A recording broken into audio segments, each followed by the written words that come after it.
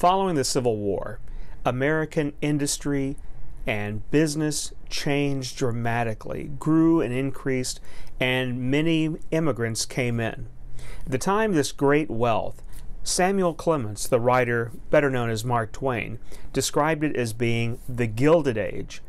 Gilded means a base metal beneath, on top covered with gold. So, why did he call it that? We'll look at that in this lecture. In the late 19th and early 20th century, you saw corporations develop in new ways. Now, there were been corporations for a long time, but the modern concept and what we think of today as a corporation didn't really begin until after the American Civil War. And railroad companies were often the pioneers of new forms of organization and corporate stock and bond selling. Selling stocks become the primary way to raise money for businesses following the Civil War. Before that, usually was individual investors or people who outright owned companies, but because railroads cost so much, because you had the rolling stock, those the box cars and shipping containers, engines. You had to have rails and you had to build roads, uh, railroads for the trains to travel on. So there was a tremendous amount of capital needed, and it was more than one or a few people could gather. And so they needed to sell stock. Also, the new idea of a corporation provided some protection for stockholders. Uh, by limiting their liability, they would only risk what they invested, not their entire life savings, uh, like you might do in a company where everything you own is then held uh, in case you bank- go bankrupt. But in a limited liability issue, it's only the stock, only your investment that's at risk. So some of these characteristics was that railroads were becoming large national businesses. And so uh, you couldn't have just one person running some of these corporations. You needed to develop this idea of middle managers. And this starts in the railroad corporations. They also need large amounts of money, and they looked at new forms of consolidating power. Two primary ways one through horizontal integration and another through vertical integration. And horizontal integration, this meant that you owned similar companies horizontally. You might own several refineries. So you were owning corporations or owning companies along similar types of businesses. In vertical integration, however, uh, and this started in the 1890s, you were controlling up and down the line. So if you had a railroad company, you might also own a steel company. You might also own a communications, a telegraph company. So these are businesses associated and sometimes serving your primary business, but uh, you would control the cost, you would control the overhead, you would control the profit. And so you wouldn't be making too much money off of services you needed because if you own those companies, it was just going back into the bigger corporation. So horizontal and verti- vertical integration were two new forms of business structure. And we see this in people like Andrew Carnegie, who started off a Scottish immigrant who came to the United States, and he worked uh, as a telegraph operator, uh, running the telegraph for railroads. He took his money and he invested in a steel works in 1873 and within a few years became one of the richest men in the world. He used vertical integration, and so he owned not only the steel companies, but maybe the smeltering plants, the mines from which the steel ore was taken, the iron ore was taken, and so he would own everything up and down the lines. And he also controlled railroad companies to the extent that he shipped a lot on railroads, and so he asked for discounts and paybacks, and this was called rebates. So he would get money back because he shipped so much on these railroads.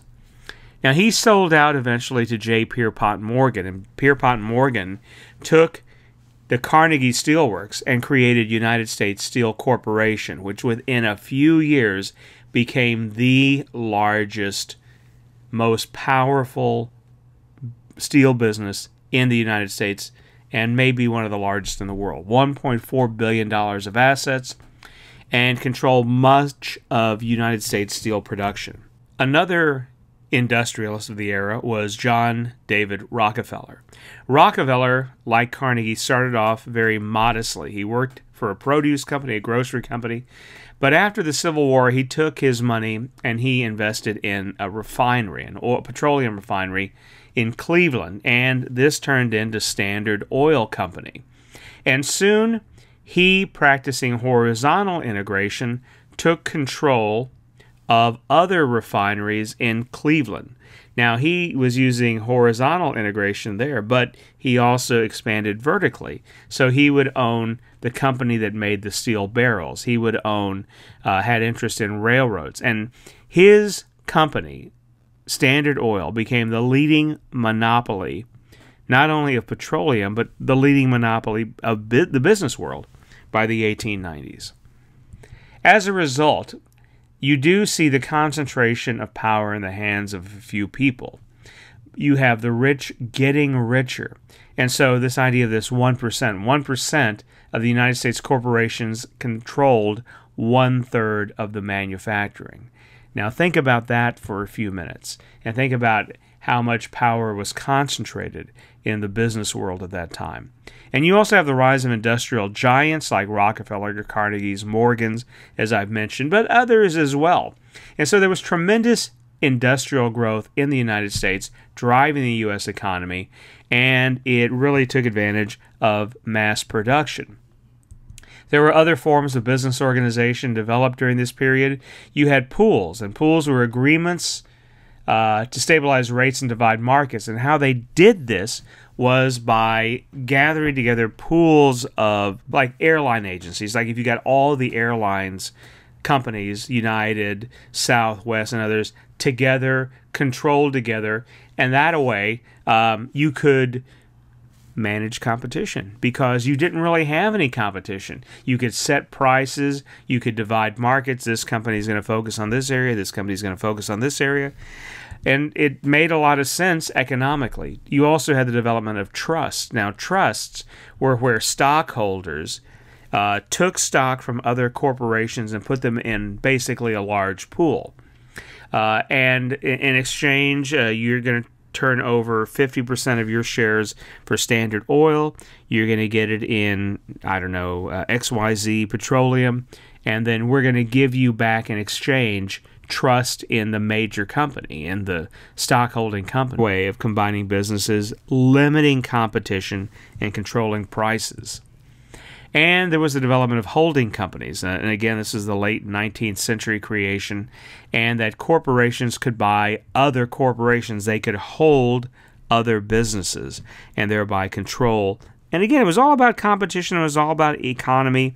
It was all about reducing um, the amount of competition you would have because you could control the market, uh, you could uh, diversify and cut up the market, and that you could control prices. So, this created a problem. A lot of people saw big business as corrupt. And this is a very famous uh, cartoon from Puck magazine from the late 1880s and it's called The Bosses of the Senate. And so in this cartoon, what you see is uh, the U.S. Senate there, uh, members in the first three rows, and their bosses watching over them uh, are large corporate trusts. So you have the Copper Trust, the Steel B, the Iron Trust, Standard Oil, and other trusts watching over the Senate. And they are shaped like bags of money. And so this gave you an idea, saw power and politics and business in the late 1880s. And if you look up in the uh, rafters in the so called gallery of the Senate where visitors come in, the door is barred and closed. Um, and it says uh, people's uh, control, and that's people's entrance, and that's blocked off and there's a sign at the back that says "Trust the Senate." Uh, this is the Senate monopolists by the monopolists and for the monopolists. So the idea is that you know business is controlling government uh, and has control of the Senate, and so you know it, it was a joke, and and you hear similar jokes today. So this started back in the 1890s. On the other hand, and unions in an effect were an attempt to create a combination of workers, a kind of pooling together workers who were fighting for better wages, shorter hours, uh, safer conditions. And it made more sense to combine their efforts than to work individually. In 1866, so right after the Civil War, America entered a panic, and a panic is what we would call today a depression. So this is the panic of 1873. Labor unions were involved, and the big labor union of the time was the National Labor Union. It was really more of a reform group rather than a laborer. But you also did have some unions, which were more like in fraternal organizations, the Molly Maguires, the ancient Order of Hibernians, was really an Irish social fraternal organization, but they got involved in helping a lot of their people who were Irish, who were immigrants, and who worked in coal mining in Pennsylvania, this anthracite coal mining. Uh, they got a bad reputation because uh, along with them came a lot of violence. They intimidated people who didn't agree with them. And so um, this type of union took on um, a bad name, as it were. In 1877, just a few years later, the Great Railroad Strike. And what strikers were complaining about was pay cuts. And there was a lot of violence, there was a lot of destruction. Uh, the railroads brought in militia, hired guns, uh, private security to stop the strike. And in West Virginia, 100 people were killed in conflicts. And this is a uh, illustration uh, from a newspaper, from a magazine of the time, uh, showing uh, a fire and blaming it on the Union, which they were probably responsible for, at least because of the conflict. So it wasn't totally unfounded, but uh, it was a little one sided. They were looking at the violence caused by the Union and ignoring the violence uh, that the owners the business owners uh, contributed to. And so many people saw that unions were going to be the cause of conflict, and this weakened the power of the unions. And why did they remain weak, though? Well, again, let's look at the kind of the attitudes of the time. Organized labor conflicted with the predominant ideas of social Darwinism. And this was the idea of survival of the fittest. And so we believed, it was very popular to believe at that time that.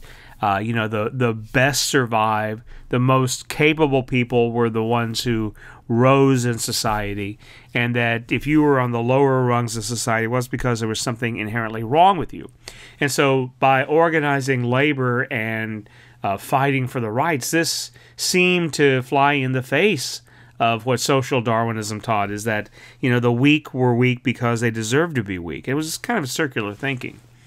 And that it was anti competition. And so people didn't like that uh, you know you had these collective efforts that people banding together to raise wages. Why don't you fight for wages for yourself and not for other people? And they didn't like the fact that government sometimes stepped in to help. Now that doesn't mean government was always on the side of labor. In fact most times they weren't. But any type of government activity was seen as an intrusion. So whether or not they were regulating the economy or helping the unions it was still seen as a threat by many people and so unions threatened this idea of a free marketplace of employment, and so many people were against that.